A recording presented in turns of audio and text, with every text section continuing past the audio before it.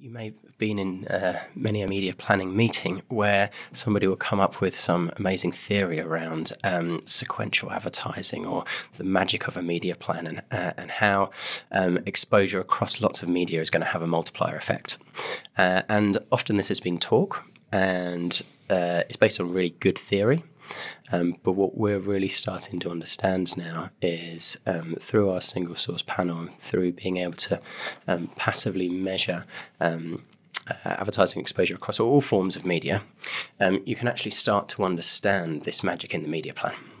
Uh, and we talk about the magic in the media plan because you actually start to see this multiplier effect.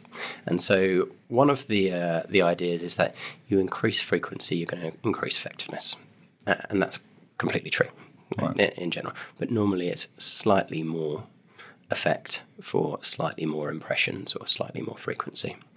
What we're starting to see through our um, cross media studies is that you see this multiplier effect of um, exposure across different media. And so there's a theory around this, um, around cognitive reinforcement. What this is, is seeing messages in different um, contexts uh, actually stimulates the mind more. Uh, and so you actually remember more, uh, and it has more of an effect.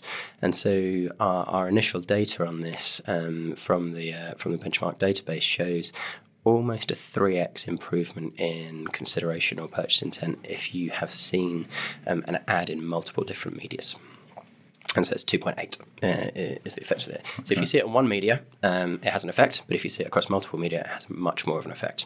Uh, and this is really exciting for uh, for brands to understand because you can actually measure this.